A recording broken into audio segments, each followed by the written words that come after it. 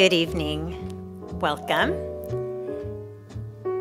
Good evening, our PUSD students, staff, families, and community. Welcome to our second Youth Town Hall this year. My name is Ria Apodaca. I'm the Director of PUSD Health Programs. I'm really proud to be here with all of you and with our panelists as well. Tonight's event is a collaboration among PUSD employees from health programs, mental health, Thrive, and communications, and valuable community partners from Huntington Health and Exer Urgent Care. We also are joined by a PUSD alumni on our panel, and we're very grateful for him to join us as well. Tonight, we're going to present and discuss topics related to mental health, anxiety, depression, and ways to get help if someone is struggling. Tonight, you might hear something that causes you to feel differently or that makes you feel uncomfortable. And if that happens, please know that it is normal to feel unsettled or off sometimes. And if that happens, we want you to do what you need to do to feel okay again. So if that means you need to stand up, walk around, do a breathing exercise that you may have known that already helps you out, please do it. Give yourself the space that you need. Now I'd like to introduce you to one of our special guests, who will serve as our moderator of tonight's Youth Town Hall, Dr. Talene Kalabian.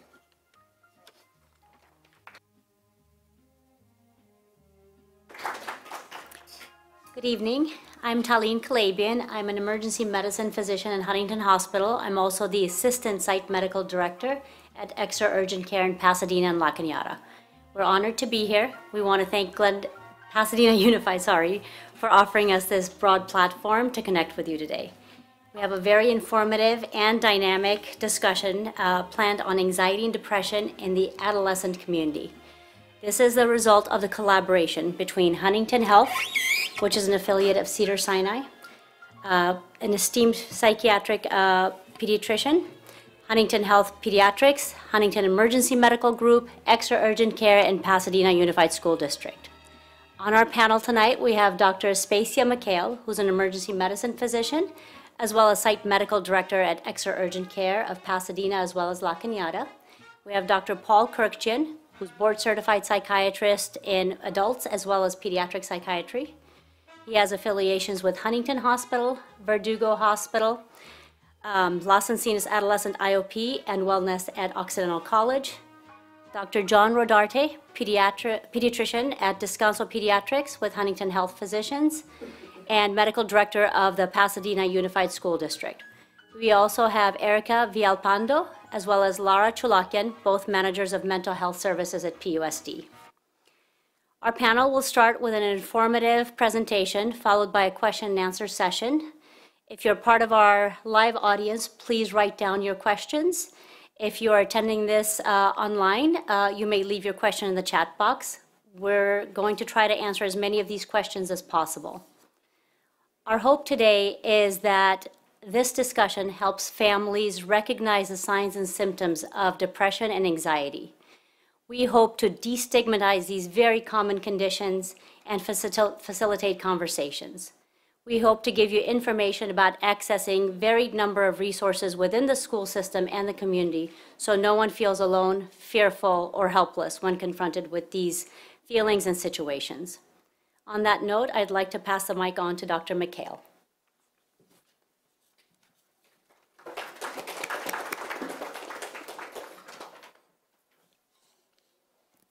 Good evening. My name is Aspasia McHale, and as mentioned, I'm an emergency medicine doctor uh, working at Huntington Hospital, and I'm also the site medical director at the Exer Urgent Cares in Pasadena and La Cañada. Tonight, we'll be discussing a very important topic that may be affecting each of us to some degree, and we'll be focusing mainly on anxiety and depression. Most likely, all of us here have experienced some form of anxiety or depression at some point in our lives. In fact, over the last two to three years, since the COVID pandemic, the number of people dealing with anxiety and depression has significantly increased. In fact, and, and as a parent of two young adults and as an emergency medicine doctor, I've experienced firsthand how issues with mental health can take a toll on the person suffering and the loved ones around them. So tonight, let's have an open and honest discussion about anxiety and depression. So the goals of the goals we hope to accomplish in this discussion are understanding what anxiety and depression is and what it looks like, learning about the treatment options for both, and knowing how and where to get help. So, what is mental health? It's our emotional, psychological, and social well being. It determines how we deal with stress, relate to others, and make healthy choices. And I'm not just talking about food, I'm talking about making right decisions in life. So, mental health conditions can affect people of all ages and all races. No one is immune. And today we'll be focusing on anxiety and depression, the two most common mental health issues that people of your age are suffering from. I do want to point out that it's normal to feel some kind of anxiety or depression, and when it, but when it interferes with your daily functions and activities, then it might be time to get some help. So, who is at risk? Anxiety and depression affects more people than you think, and we are all at risk. In fact, one out of three of your peers is suffering from anxiety to some degree. Not everybody requires treatment, though. Anxiety is also the most common mental health issue in children and adolescents. In regards to depression, the number of adolescents with depression doubled from 2009 to 2019. And since 2019, during and after the COVID pandemic, the number of people suffering from depression and has risen significantly. So why do we get anxiety and depression? The causes fall into three categories, biological, psychological, and social. We're going to first talk about the biological factors, and these include our genetics and family history. Genes are our DNA. It's what makes us who we are. And our genes are passed down from our parents, which were passed down from their parents. So if your parents have a history of anxiety and depression, you have a higher likelihood of, of possibly developing it too. Then there are certain medical conditions. So if your thyroid isn't working properly um, and then your thyroid hormones are low, this could contribute to your feeling depressed. Finally, there are substances that can contribute biologically. Certain medications can make us feel anxious. For example, if you're prescribed steroids or an, an asthma inhaler, um, it can make you feel jittery and mimic the, the signs of anxiety. And when we refer to medications, we're not just talking about prescription medications, we're also talking about over the counter medications and herbal preparations as well. And then there are other substances like vape and alcohol, marijuana, or other recreational drugs that can also affect our mood and either make us feel anxious or depressed. Then there are psychological factors. These include traumas or losses. An example of, a, uh, an example of this would be if you've ever been involved in a major motor vehicle accident or um, have lost a loved one. And then there's abuse and abandonment having suffered from any verbal or physical abuse, or feeling like you've been left all alone or forgotten by a parent, a loved one, or guardian. Then there, there are our family interactions and the environment we live in. So, how we interact with each other at home has a huge impact on our mental health. There are certain forms of communication between family members that may seem benign, but may actually be harmful. So being too critical, when we are too critical, it may sound like we're more we're negative more than constru- constructive. And ultimately, one is made to feel like they failed or didn't live up to certain expectations. Being sarcastic. Sometimes family members use sarcasm to be funny, and sometimes things said in jest could be misunderstood, and sarcasm could lead to one feeling belittled or ridiculed. The other is unintentional distancing from others. So, although we may not realize the negative impact, when we distance ourselves from others at home, so everyone is sitting in their own room, doing their own thing, and they're not communicating or interacting with each other, this could lead to a sense of isolation. So, while being too critical, sarcastic, or distant are not the only interactions of concern. These are three of the bigger ones we wanted to highlight. Finally, there are social factors. These include our school and peer interactions, dealing with the stress of school, all the after-school activities, sports, college applications, or even dealing with peer pressure and school bullies. Then there's housing and finances, the worry of making sure there's enough money for rent, food, bills, and clothing. And finally, the community we live in and, and the fear of school violence. This is about what's going on in our neighborhood and in our schools. For example, we may be living in a neighborhood where gangs and drugs are prevalent, or we may also be worried about violence at school and the possibility of a mass school shooting. And lastly, probably one of the more relative social factors that you are all dealing with today is social media. This is one of the biggest stressors affecting our young people today. And in fact, researchers have found that the most frequent problem associated with increased social media use is, guess what? Anxiety and depression. Don't get me wrong, we, many of us use social media to keep in touch with friends, stay up to date with current events. So you might be thinking, so what's so bad about social media? Well, here are some of the issues. One of them is the issue with popularity, checking to see how many likes or dislikes we got, how many followers we gained, or how many we lost. It creates an unhealthy need for constant validation. Then there's the constant comparison to others, which could sometimes lead us to feeling like we've fallen short or feeling like we've missed out. One example includes body image issues. Am I thin enough? Am I pretty enough? Then there's also cyberbullying, getting harassed, threatened, embarrassed, or even targeted by others on social media. It can also lead to sleep, depri uh, sleep deprivation because you stay up at night scrolling through social media channels, and before you know it, two or three hours have gone by, and you've missed out on really good sleep. And it can, can also contribute to a lack of physical activity. When you're sitting idle on your phone or your electronic devices, it keeps you from engaging in physical activity. So while the desire to be popular, the constant comparison to others, cyberbullying, sleep deprivation, and the lack of physical activity aren't the only negative factors associated with social media, these are some of the bigger uh, issues we wanted to bring to light. Now, keep in mind, despite everything we've just mentioned, the good news is that there is help. No matter what barriers you face or how tough things are, there are people and resources you can turn to for help. We'll go over in detail who to turn to for help a little later in this, in this discussion, but before we dive into any more details, I want to pause for our special guest speaker uh, who's here with us today we want to welcome with us today Christian Dimayuga. Uh, we are, he is a, a recent graduate of PUSD's Center for Independent Studies, and he's currently a sophomore at the Pasadena City College. We are honored to have him with us today, and we commend him for being present today to share with us his personal experience with anxiety and depression. It takes a tremendous amount of courage to share one's story and we are grateful to him for his contribution and his support. Welcome, Christian.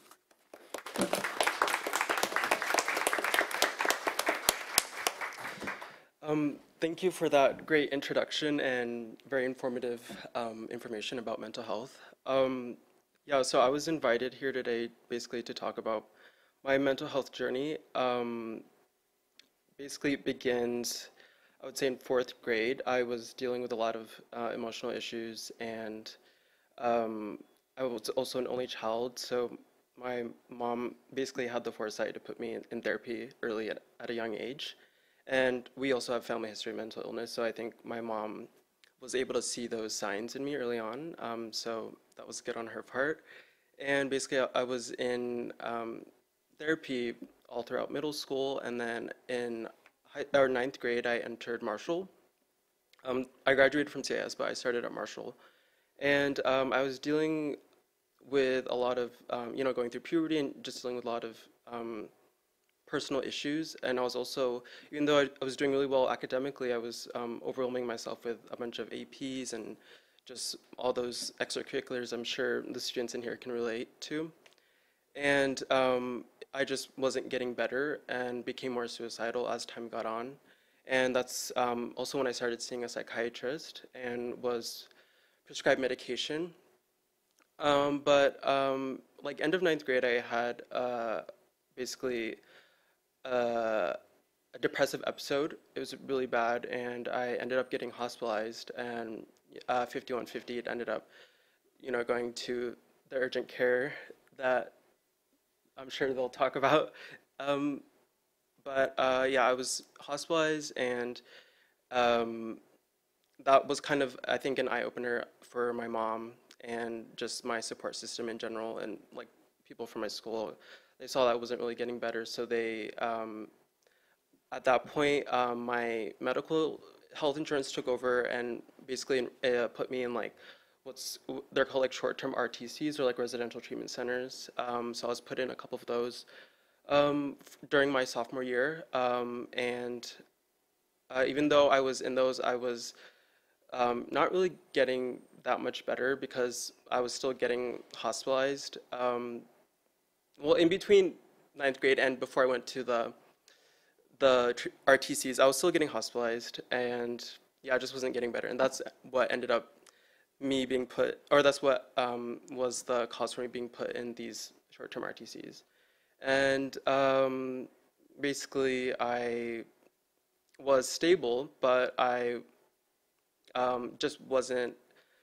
I was dealing with a lot of um, like I was feeling unmotivated a lot of the time, and um, I didn't want to go back to school when I came back from those uh, treatment centers, and so at that point, my IEP team at the district, so here, they took over, and they were you know exploring different options for me, um, and they really um, did a lot to support me and, and tried all these different options. Um, I was uh, you know, did like homeschool where a teacher came and did that for a little bit, but it didn't really help. And then they uh, put me in what are called like non-private or non-public uh, schools. They're just like different schools that are catered towards, um, you know, special education or um, students with mental health issues. And I was um, tried those, but I didn't really like them.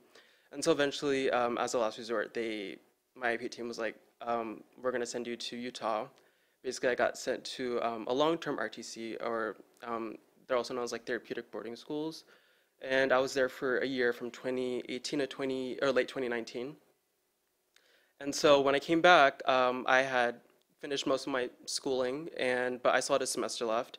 And so um, during that time, I came back like early 2020, and then as we know, the pandemic happened, and so that kind of put a pause to everything and what um, me finishing school, and I just became really agoraphobic, so I, I didn't leave the house. Um, oh, also I should mention I like I cold turkey my medication, so I, I stopped taking medication, which I don't recommend, but I became very depressed and um, started becoming really anxious and, and just falling into those old habits again, and um, it wasn't good for me. And but thankfully, my IEP team was really supportive of me during that time. They were still checking in on me, and my uh, therapist um, from basically my IEP, Stephanie Weiland, who's here today, um, she was still trying to call me and check in with me, even though I, I didn't respond. And eventually, I started to respond and, and started seeing her more regularly. But um, it took quite a while. It took like maybe like a year and a half before, um, between when I came back from Utah and before I started seeing um, Stephanie regularly and started being an active participant in my IEP. And during that time, I um, started. I actually enrolled in PCC before I even finished from finished my high school diploma um, because I was like, I just want to get it over with, and you know, I was I was kind of I, I do really enjoy school. I just um, I have you know it, mental health issues, and it was really hard for me um, just to you know get that motivation, which I think a lot of students struggle with. But I really didn't want to go to school, so you know, I enrolled myself in PCC without. Um, and so I was doing PCC, and, and I was still um, working on my high school diploma at the same time. And then eventually, in uh, I finished my high school diploma at CIS, um, and they've also been really supportive of you know everything. Um, I have to shout out Gareth, Mr. Gareth Siegel at CIS, who really um, like I wouldn't respond to him, but he would he would talk like during the time where I wasn't talking to anybody, he would like call like almost you know like twice a week, and he would just like call my mom like checking in and, and just seeing how I was doing, and it was really you know it, it really is those um, those special people in your life that you know those advocates in your life who really make a difference i would say you know especially you know here at pusd it's those teachers it's those counselors it's those therapists it's those you know psychiatrists who really really do make a big difference and, and you know make make you feel like you're not just a dot in a in an ocean but you know there are people out there who really care for you. Um, so that was really helpful for me. Um, but yeah i finished uh, from I f- oh yeah, I finished my diploma and then I uh, oh last year. And then yeah, so basically I did really well with um, at PCC. So like last uh, spring, I applied for a um, an undergraduate research fellowship at Caltech, and then I got that, and then I stayed at Caltech last summer um, on campus and was basically participating in research there, and then I'm still there working as like a, uh, in, while I do my studies at PCC, I do part-time research at Caltech, and then um, I'm planning to transfer to UC Davis in a year. So um, yeah, I would say I, I made a lot of improvements for myself in the last couple of years, um, but that wouldn't have been possible without all the supportive, um, all the support, or wouldn't have been possible without the support, support system I've had um, especially my, my mother, who is here with me today also, who's really been a strong advocate um, for me and, and just really never gave up. Um, you know, it's, it's just, uh, like I said, it's just me and my mom. I'm an only child, and I was, my, it's, my mom raised me by herself, so um, she really has been an advocate for me, and um, yeah, I wouldn't be here without her today. So I, I thank everyone who has supported um, me, and I guess one thing I would advise like other students here in the room that are going through the same thing is just like I know it's cliche, but really just don't give up. Like um, there there are people out there who who will care for you, and there are um, you know there's always a light at the end of the tunnel. I always say like even though now it may seem like really dark and you may seem like you're never going to get out of it like you there is a light at the end of the tunnel and, and there are people out there who are willing to give you a chance willing to support you and yeah just don't give up and yeah, that's pretty much it, I'd say. Thank you.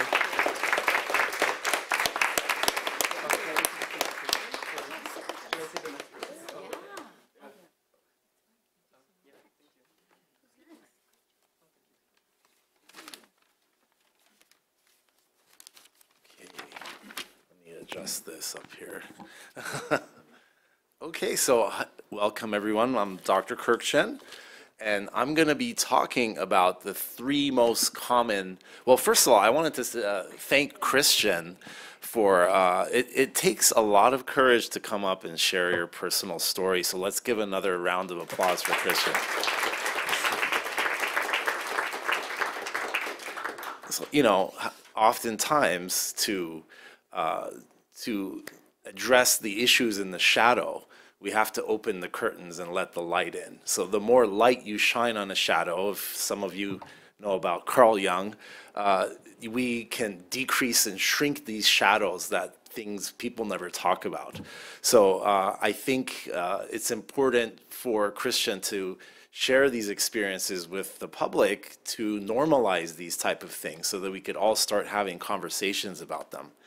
Uh, and I'm happy to participate in this and help kind of demystify what is mental illness. So I'll jump right into what is uh, anxiety. So there are three uh, most common forms of anxiety that we see in the adolescent age group are generalized anxiety disorder. The second one is panic disorder. And the third one is social anxiety. And it's important to know what form of anxiety someone is suffering from, since the treatment may differ for each. Some symptoms might even overlap. Slide 13. So, what is generalized anxiety disorder and what might it look like? So, are you feeling restless, wound up, or on edge? Do you feel tired easily? Are you having a hard time focusing, maybe? Do things irritate you easily? Do you get unexplained headaches, muscle aches, stomach aches, or other unexplained pain? Do you have trouble falling asleep or staying asleep? So, having trouble controlling your worries and fears for six months, plus answering yes to any of these uh, questions, might mean that you could have generalized anxiety disorder. Next slide. So, what is panic disorder and how might this look like? So, panic disorder is when you have unprovoked anxiety attacks that escalate very quickly in a matter of seconds to a feeling of impending sense of doom. Uh, these episodes last around five minutes. You might get pounding or racing heart, sweating, trembling, uh, chest pain, uh, feelings of impending doom, fear of losing or being out of control. And these are often with no trigger. And the next type of anxiety we have is social anxiety disorder. This is the definition of this is when you have fear and avoidance of social situations and interacting with others. So you're isolating because of this fear, and it's not out of choice. Sometimes it could lead to blushing, sweating, trembling, pounding or racing heart, uh, stomach aches, rigid body posture, or speaking with an overtly soft tone, uh, or having difficulty making eye contact with people, uh, and feeling self conscious or fearful that people are judging you negatively. Next slide. So the other major topic is what is depression? So the, the most common form of depression in people of your age is major depressive disorder. Uh, so I'm going to just go through all of the symptoms of major depressive. The first one is decreased interest or pleasure in all activities. So that might not, uh, or significant weight loss or weight gain, sleep disturbance, can't sleep or you're sleeping too much, fatigue or loss of energy, inability to focus or concentrate, feelings of worthlessness or excessive guilt, irritability, agitation, or aggression. Finally, recurrent thoughts of death. So, we're going to then talk about what are the treatments for these conditions. So, there are two forms of treatment options. The first one is medication, uh, the second one is therapy. The, the type of therapy we're going to talk about today is mostly cognitive behavior therapy. We call it CBT. Uh, so just because someone needs therapy, it doesn't mean that they've made a mistake. So mental health problems, they're the same as having a medical illness, and it's only going to get better with treatment. It's not going to go away if you ignore it. Uh, and it's important to realize that medication and therapy is not for life. This is a very common question that parents ask me as a psychiatrist is my child going to have to be on these medications for life? And oftentimes medication can be tapered off after six months of consistent improvement and you and your doctor could form a treatment plan together to decide if you would like to continue medication or not. So in conjunction to treatment of any kind it's also recommended that you get evaluated by a private doctor to rule out a medical cause for your uh, possible mental health condition. And with that, I'm going to hand off uh, the lecture to Erica and Laura.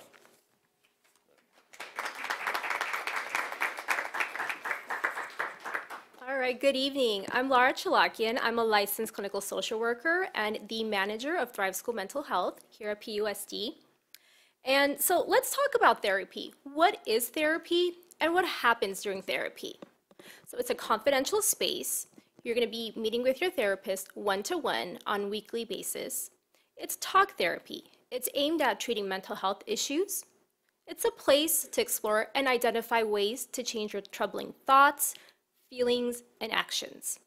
It's a place where you learn to work out your problems and to learn some coping skills. At the very beginning, your therapist is going to ask you some questions about what's bothering you or causing you stress. They're going to ask about your life, your friendships, family, academics, and so on. And then you and your therapist will identify goals to work towards. And then the treatment begins. It could be short term, meaning just a few weeks, or it could be long term, a few months, maybe a year. There are different forms of therapy. We have a few listed here, and this is just a few, but there's play therapy, there's art therapy, and then, like Dr. K mentioned, there's cognitive behavioral therapy, which my colleague Erica is going to go into now. Thank you, Laura. Hi, everyone. Um, I'm Erica Villalpando, a licensed clinical social worker and manager for our PUSD Mental Health Services program. And um, so I'm going to give you a brief overview and hopefully a good introduction to what cognitive behavioral therapy is. Um, so what is cognitive behavioral therapy? As mentioned previously, it's commonly called CBT. So we'll say CBT from this moment on. Um, so again, it's one of the most common and preferred modalities of talk therapy because it's been shown to be effective for a wide range of problems such as um, depression, anxiety, peer relational issues, low motivation, uh, school-related struggles, and other stressful situations. Um, it's also helpful, oh, I already said that, apologize. Um, so CBT can be used with people of all ages, including children, teens, and adults. Um, I'd also like to share that talk therapy and CBT can be providing, provided using activities. So like Laura mentioned, there's art therapy, play therapy, right? So we can uh, provide CBT through those activities as well. So the therapist will adjust the interventions and the techniques based on the age of you, the client, the person seeking help. So um, you will not be bored, you'll have fun, and hopefully enjoy the time. Um, so the goal is for you to be engaged in uh, therapy and in uh, receiving CBT, not bored and feel better. Um, uh, we use different activities to engage you in CBT. Um, so if you take, oh, can we leave the other screen, the other, yeah. Okay, there you go. It's okay. So if you take a look at the graphic with those cute little brains, right, you'll see the cognitive behavioral therapy triangle. So the triangle is at the center of CBT and it focuses on the idea that your thoughts influence your feelings that influence your behavior, okay? Um, so when we use the CBT triangle, we work on identifying unhelpful thoughts and unhealthy. So unhelp, unhelpful and unhealthy thoughts, and we work on changing those thoughts to more helpful or more healthy thoughts. Um, so once we do that, we also explore how those unhelpful thoughts are influencing your behaviors and your feelings. Um, so here's one example. So uh, here's one example of an unhelpful thought that you might have. No one likes me, I have no friends. So we would work on changing that unhelpful behavior, uh, I'm sorry, unhelpful thought, to something like, I don't have as many friends as I would like at school, right? So we'd work on that. So if the thought is more helpful to you, then this would hopefully influence how you feel in a positive way and increase your motivation to attend more school events, for example, or to, um, to join a sport or a club. And then the results could be that you would make more friends at school. Um, and then next slide. Now I'm ready for the next slide. Thank you. Um, so here are some important points uh, to emphasize about how cognitive behavioral therapy can help you. Um, so it can help you gain awareness of unhelpful thoughts, like I mentioned in the example. You can learn strategies to problem solve. You can also gain a better understanding of your behaviors and those of others, but mainly yours. Um, and you'll learn coping skills to manage difficult situations. And lastly, I'd like to point out one of my favorite interventions in using CBT is you'll learn how to calm your mind and calm your body, which is really important. Um, so thank you. And with that, Dr. Rodarte will continue to talk about where to get help.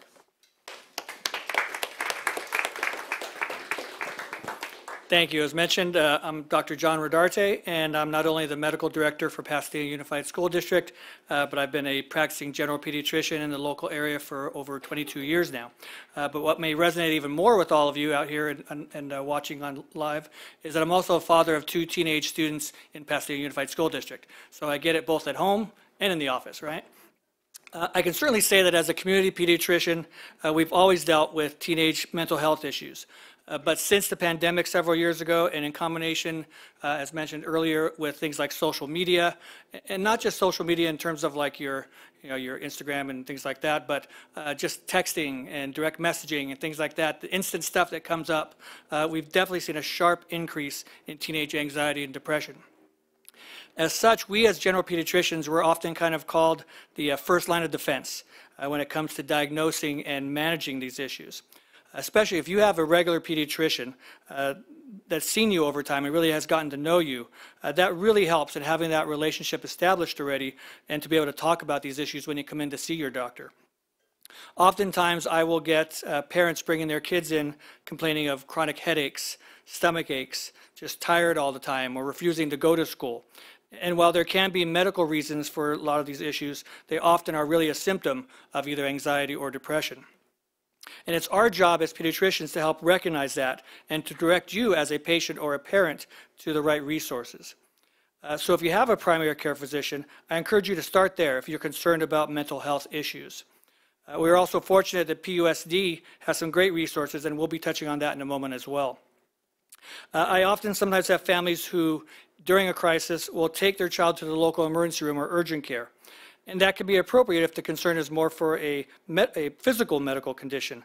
Uh, but these places really aren't equipped or suited for mental health treatment unless it's escalated such to the point that maybe this person requires a, a 72 hour psychiatric hold known as a 5150. There are, however, some uh, urgent cares that are more tailored to this, uh, such as behavioral health urgent care centers. There's two uh, located in City of Industry and Long Beach, and these have 24-7 mental health care services for emergencies. Uh, the Alhambra Behavioral Health Center is another place as well. Uh, there's another local resource called the Insight Clinic with a site in Pasadena that our very own Dr. Kirchen will be uh, helping patients there as well. They provide an intensive outpatient mental health services in a very kind of holistic approach. Uh, but if you're looking for an appointment with either a therapist or a psychiatrist and, and you don't know where to go, like I said, often, one, you can start with your pediatrician. You could call, if you have insurance, you could call your insurance carrier and ask them for uh, local offices nearby that might be covered for you.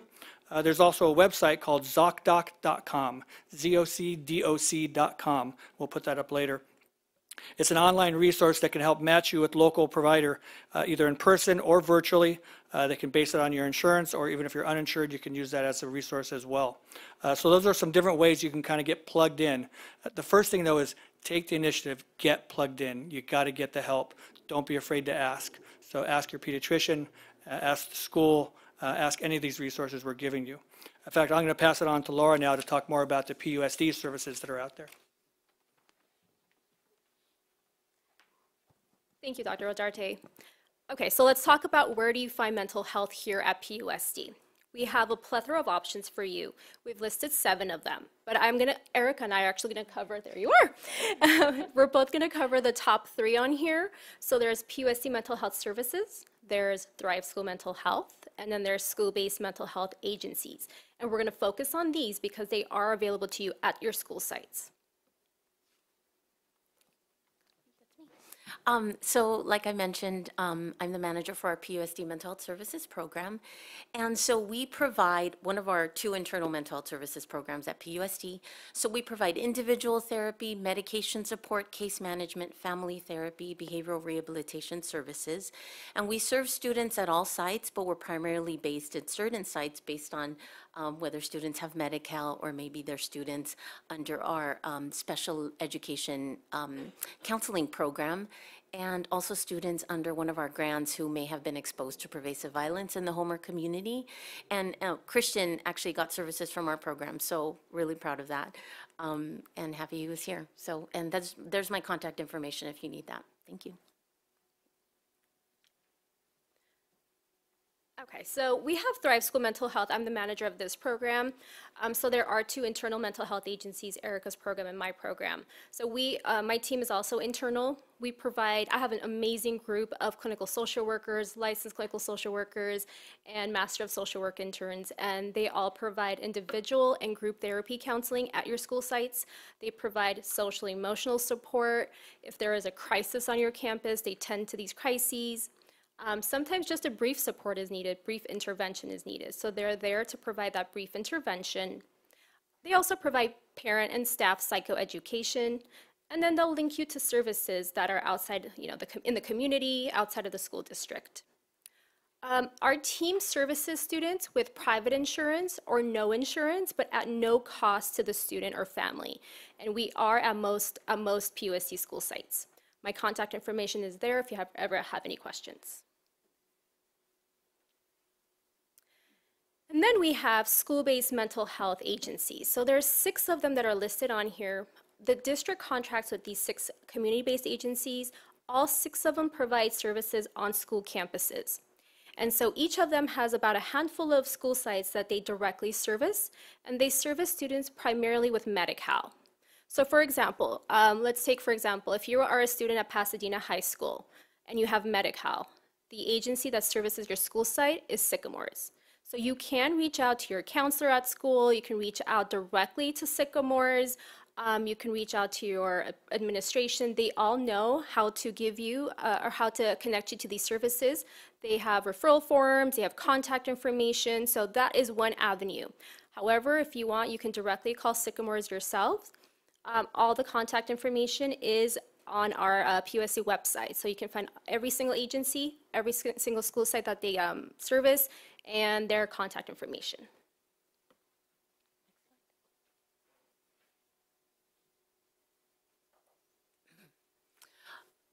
Oh, you. It's still me.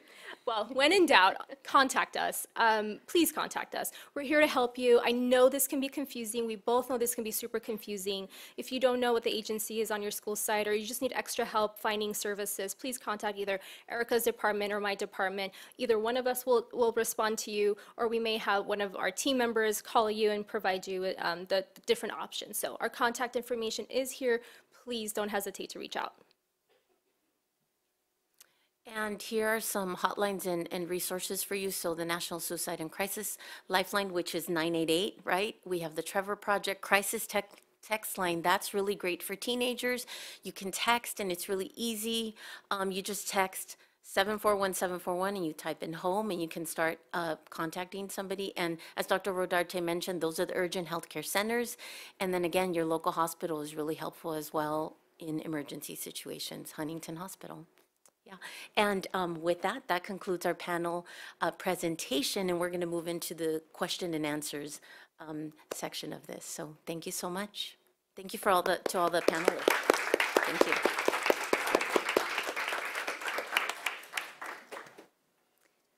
Okay, our first question is, how do I tell my parents and my teacher how I feel?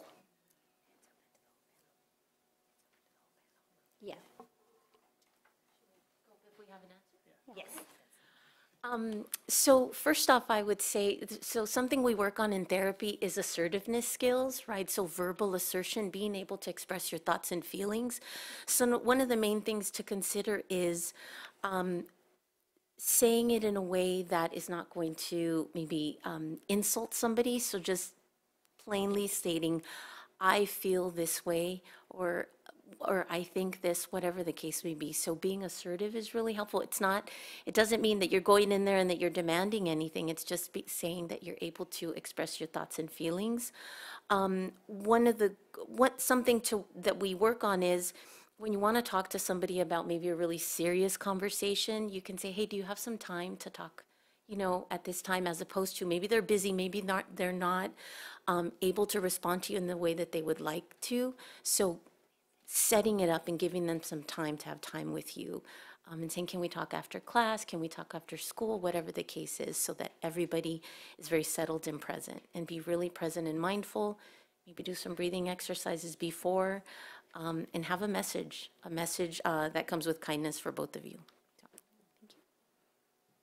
Dr. Rodarte, Dr. Kirkton, do you have anything to add to that? I think assertiveness is a great skill, for example. This is a concrete thing that you could learn in therapy. And if you come from a family such as my I, my last name is Kirkchin, so I'm, I'm, I'm Armenian. I went to Longfellow, actually, so I'm a former Pasadena Unified student. But, uh, you know, in some communities, mental illness is very stigmatized where you, you might be afraid to tell your parents because they might feel that there's something wrong with you or that, oh, that's bad, you shouldn't feel like that, why do you feel like that? So sometimes it's helpful to talk with a therapist, and therapy is confidential. You don't need to get, you know, permission to see a counselor at your school. And sometimes when you talk to a counselor, they could kind of help you figure out the words to uh, use to describe how you're feeling with your emotions. And they could help you navigate that conversation with your parents. Um, you know, so it's it's a higher kind of threshold when you're talking about medication. For medication, you do need your parents' consent. And as a child psychiatrist, that's what I do. So I'm I went to medical school and I went to residency and fellowship. I went to UCLA and Cedars. So my my job is more to help patients and families it's decide if medication is right for them or explain options to them. So if, if that's something you're interested in, that's a conversation I have to have with a parent. But just to get started in therapy, sometimes you could see your school counselor to kind of help you, give you the vo- vocabulary. Because oftentimes when I first see kids, they can't even describe their emotions. So the, the, it's kind of like learning a new language in a way. So you have to develop the vocabulary to put the words to your feelings.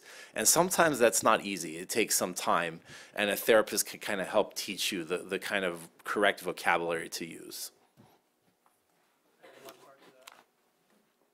Yeah, I'll add one thing from the other side of the spectrum. If, if you're the parent that uh, your child is coming to, don't freak out. That's the first thing, okay? Don't freak out. Be thankful that your child has come to you with that kind of issues.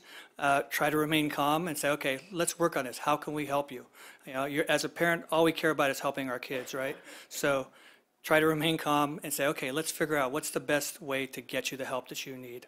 But remaining calm is, is key, right? It's taken a lot for your child to come to you, to admit this to you, if you're not aware of it, if you haven't seen it already. Uh, so be thankful, and then let's help them through it. Thank you. I want to mention that these are questions that have been submitted, and we're continuing to get questions, and we'll answer as many as we can. Um, I think the next one is probably going to be for our social workers. I want to go to the school counselor and tell her how I am feeling, but I don't want my teacher to know that she is making me anxious. What should I do? So, like Dr. Kirkchin mentioned, a lot of this is confidential, especially at your age level, 12 and over. So, if you do go and confide in your counselor at school, they're not going to be telling your teacher, but that is something that you're going to be working on in your therapy sessions. You know, how to appropriately, effectively work with your teacher, work through any issues you might be having, how to, you know, uh, effectively handle that. But your your counselor is not going to be sharing this information with anybody. So, this stuff is confidential. Thank you. Next question. Um, I think this is for the whole panel also. Can depression lead to drugs? Okay, I guess. So so it's important, well, drugs, I mean, psych drugs or street drugs. So I'm assuming we're talking about substance abuse. So sometimes people can self-medicate. Uh, There's a term called self-medication when you have either anxiety or depression and you use a substance to kind of make yourself feel better. And that could become a, an unhealthy pattern sometimes. So it's not uncommon to see people use drugs as a way to mask their depression or not have to process it or not think about it or just kind of numb out the feelings that they're feeling. So i- in that sense, yes, it, it can lead to substance abuse.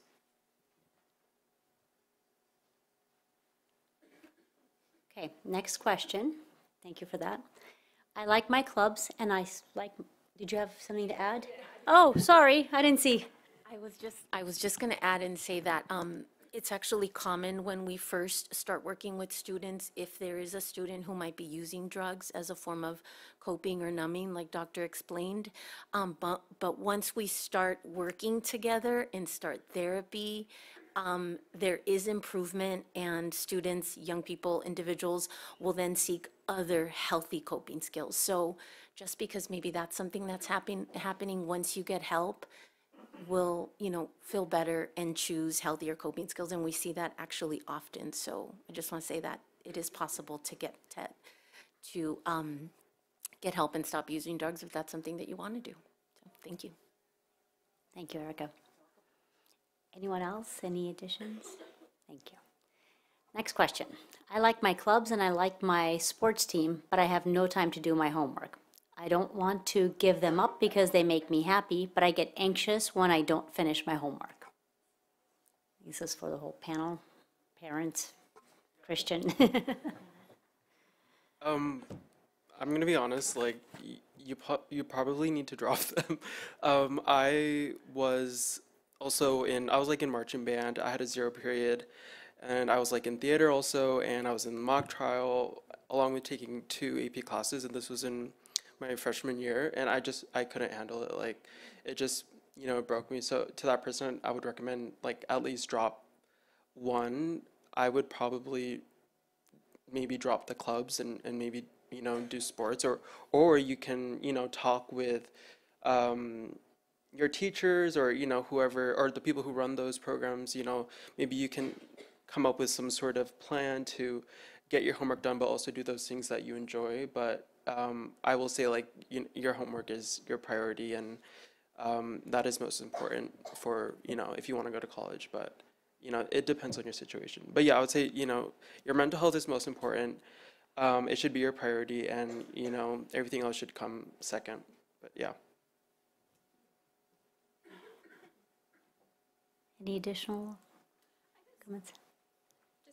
Quick addition to that, life is a balance. You have to learn how to balance your own life. And what's, this is a great time to start learning, how do I balance with all these responsibilities in my life? And how do I prioritize my responsibilities? And what's most important? And what is my ultimate goal in life? And how, how are these activities gonna help me reach those? Or, I mean, some of these do make you happy. So you do want to keep some of those activities that make you happy. But also, if they're causing anxiety, maybe in therapy, this is something you can work on. Organizational skills, time management skills. So these are all things you can work on with your therapist. So that led me to think about, you know, what if your your inability to kind of balance your life could be due to something like ADHD. This is a very common condition, and it it's due to uh, you know it it's due to a dysfunction in your front frontal lobe of your brain that's responsible for executive functioning. So that means planning things, you know, getting a schedule together. Uh, you know, so if if you do have something like ADHD, it could be very difficult to balance all of these things. So uh, it's also important to get you know screened for that or diagnosed for that if maybe that's the question that's coming up. Thank you for that. Great thought. Next question is, and we touched upon this, but um, I think some uh, expanding on the initial uh, comment would be great. How does a parent's depression affect their child?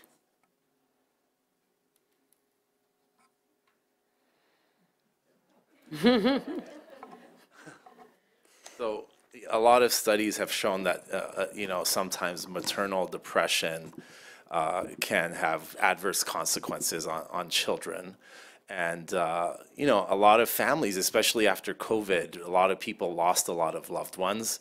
And there's still families that are going through grief and loss and processing this. And uh, sometimes those parents want to hide their own feelings and emotions from their kids to protect them, but the kids could often feel that and they could internalize these emotions. So, uh, it, you know, it's it's important to, you know, the the individual when you're getting therapy. Sometimes it's not just individual therapy. You could then branch out to do family therapy because you could learn all the best coping skills in therapy and go home to a dysfunctional home where there's chaos and there's arguments and fighting. So it's it's important that the the family dynamics are addressed in, in, in therapy as well. It's it's not just you learning coping skills, but uh, learning, uh, like Erica was saying, learning assertiveness, learning how to tell your mom or your dad, you know, I don't like the way we communicate. I, I would like for things to be different. Mom, what do you think about maybe coming to therapy with me or doing family therapy? So it's it's uh, it's very important. Like the individual doesn't exist. We all are. Uh, you know, and we are who we are in the context of our relationships with each other. So I think it's it's important to have a broader dialogue to bring people into uh, family therapy sometimes. So uh, I hope that answers that question. It does. There is a second part to that, though. What do I do if my parents' depression worries me? Yeah, that's that's a tough one because we we look to our parents to give us the answers and to guide us. And when when we're we're worried about our parents, we could often feel helpless. You know, it's it's that and helplessness is a big feeling of you know depression and and some so it's important to realize that uh, your environment that you're in it could kind of perpetuate your your symptoms so uh, we were talking about what are the causes of depression sometimes maybe you, you have no genetic predisposition to be depressed or anxious but you're in a home where there's, uh, you know, you're, you're in fear of being evicted, or there's financial stressors, or your, one of your parents got sick or fired.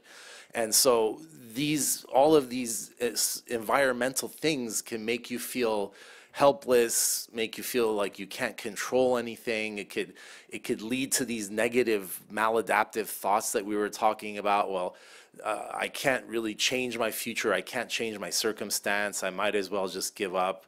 So sometimes a, a really negative environment could could cause these symptoms of depression or feelings of hopelessness.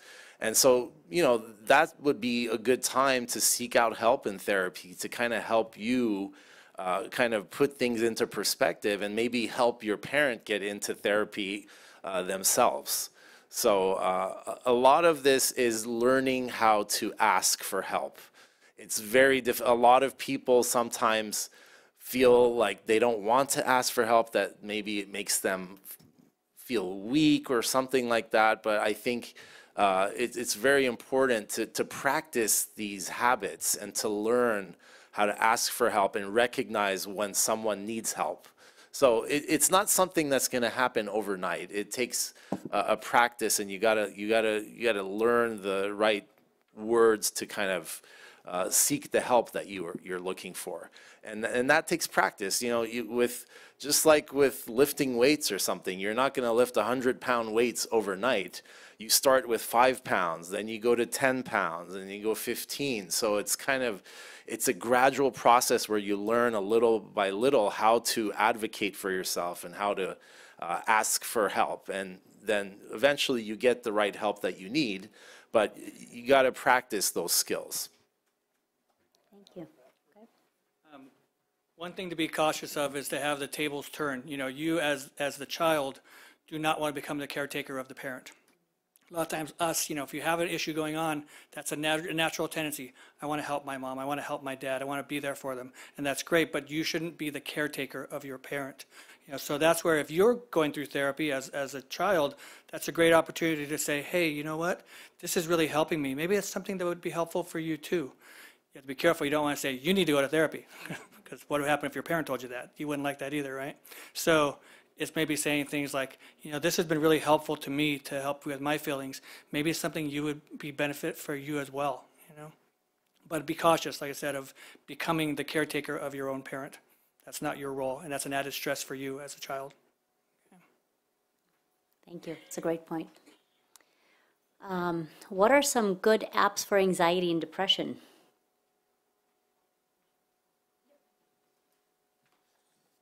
That's a really great question. So there is the Calm app. There is one we were just talking about, um, Silver Cloud. There is another one called Oak Meditation and Breathing app. All these apps give you different avenues of coping. They, they teach you how to do deep breathing. They help you in, in, in various different ways. So there's definitely apps out there. Um, we can, we don't have them listed here, but I could repeat those. Calm app, Oak Meditation and Breathing app, Silver Cloud, these are some ones that we recommend.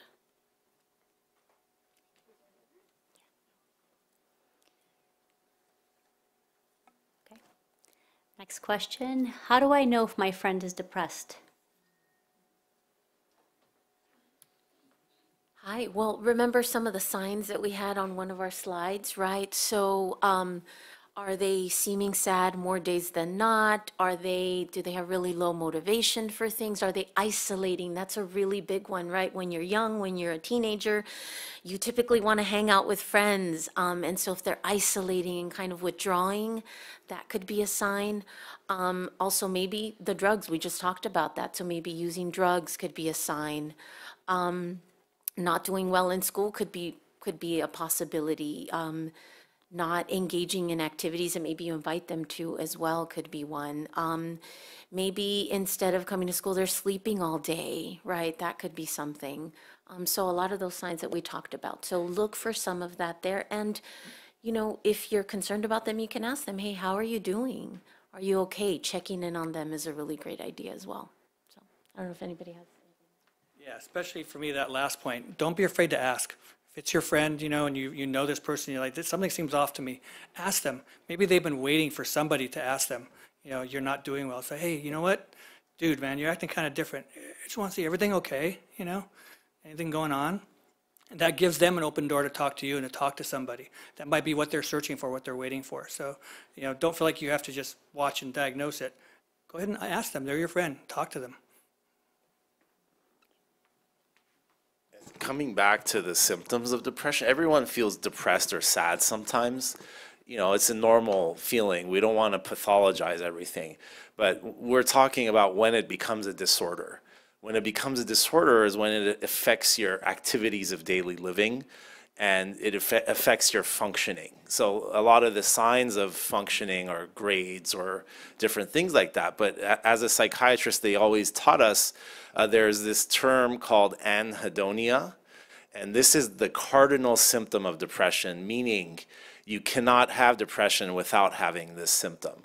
So anhedonia means losing interest in pleasurable activities that you used to like to do before. So that's a good one to ask your if you see someone that used to love a certain hobby or doing a certain thing and then they've all of a sudden lost interest, nothing makes them happy. That's kind of different than normal sadness. So sometimes that's that's kind of a good uh, kind of red flag to make you think maybe this is more than just normal feelings of sadness. Thank you for that. Um, This was touched upon actually by uh, Erica as well as Dr. Kirkjian. Next question is, I have a hard time waking up for school. What should I do? So my question would be, what are you doing at night too? What is your sleep routine? And then, um, are you staying up? We were talking about being on your phone. Um, you know, is that what's hindering you, or are you having racing thoughts and you're not able to sleep? There's so many reasons why, but it's really the routine at night that really impacts your not being able to wake up. It's not the only reason, but that is definitely impacting your ability. Um, but also is I just lost my thought. oh my goodness, what was I going to say? Oh, and just in general, adolescents, you need a lot more sleep. So um, you definitely need your sleep. Adolescents tend to sleep in even more in the mornings. This is kind of why I think we changed our uh, bell schedules as well, to give you a little bit more time in the mornings to sleep. Yeah. Okay, so the next one's very timely. Do energy drinks make anxiety worse? Uh, Short is, it can, yes, you know, so a lot of them have, are very high, highly caffeinated, and what's caffeine do? It makes your heart race, right? And that can kind of mimic a panic attack, an anxiety attack. So having that feeling all the time, if you're already having those symptoms, can really make it worse. And then what happens to these energy drinks? You're up late, you're keeping you up because I gotta do my homework, right? So I'm drinking tons of energy drinks. Well, now you're not sleeping, now we get back to the last question, why can't I wake up for school in the morning? Because I've been staying up late doing all these energy drinks. And then again, that can, the poor sleep pattern, that can worsen the symptoms of anxiety, depression as well. So yeah, doing, you know, once here or there, probably not a big deal. But if you're downing these regularly, really not good for, especially someone with, dealing with those kind of issues. Thank you. We're going to come to our last question. How can I reduce stress and anxiety when it is time for tests and finals?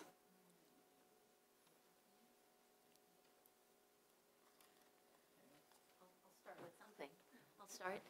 Um, so one of the best things that helps me is in anything that I need to do, but what can help you is preparing for it, right? So when is the test? How many days do I have to study for it? So preparing, um, as opposed to just completely forgetting about it, and then the test is tomorrow morning and you don't have time.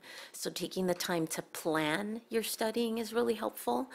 Um, uh, that can decrease stress. Um, taking some time to, we talked about with CBT, you can learn to calm your body. So learning some techniques to calm your body and reduce um, some of that anxiety could be breathing techniques.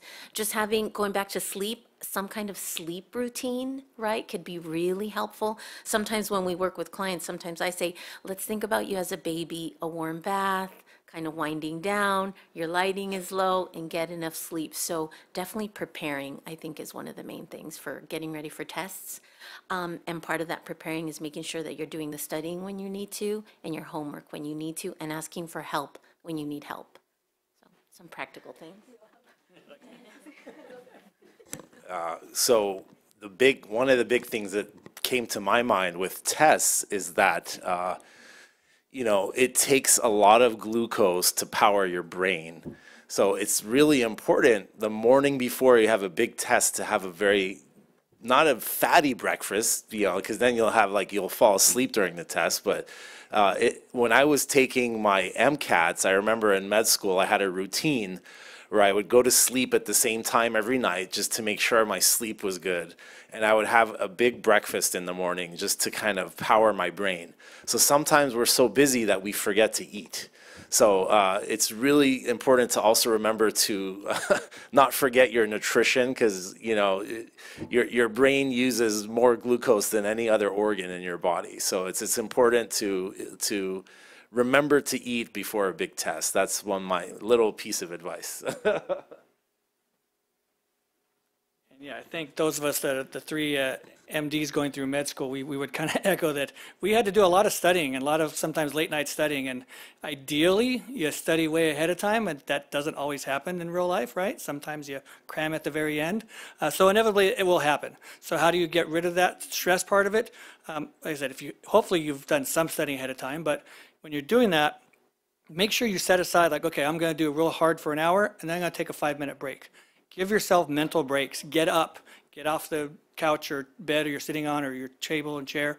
Um, you know, for me, I used to actually have a dart dart board in my room, and I would play five minutes of darts, just mindless playing darts, something like that. Nowadays, it's probably like a game on your phone, right?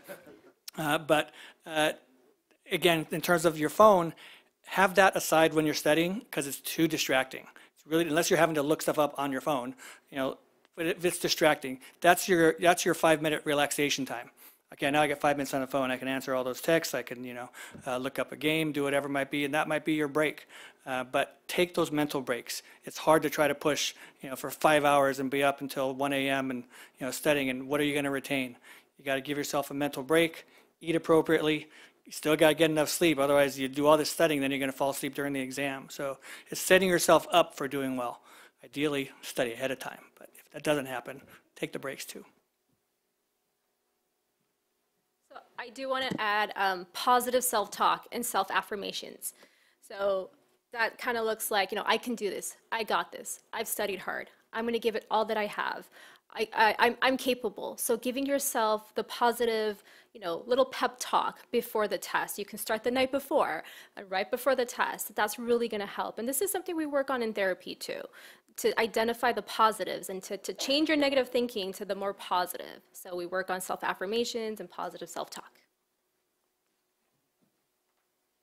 Yeah, I just, I wanted to add to what everyone else is saying, um, accommodations.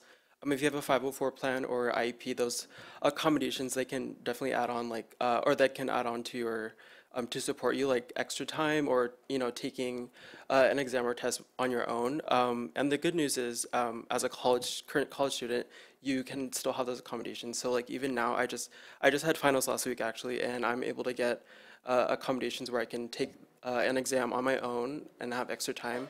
And you know, the the your professors are um, they're always willing to accommodate you wherever you go because you know it's the law basically. I think there's like the the disabled student law. I don't know, but um, they have to per um, a lot to help you, and um, that's been really helpful for, uh, helpful for me.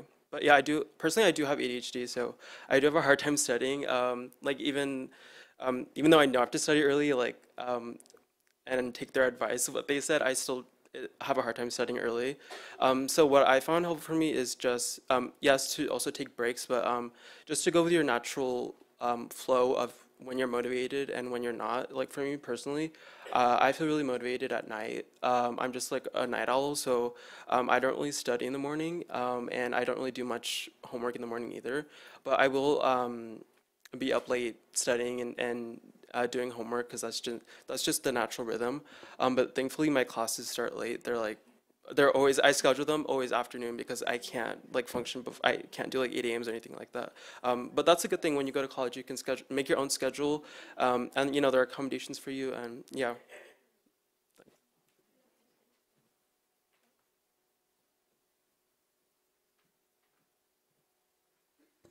So before we close, I would like to thank our panelists for coming, for your time this evening.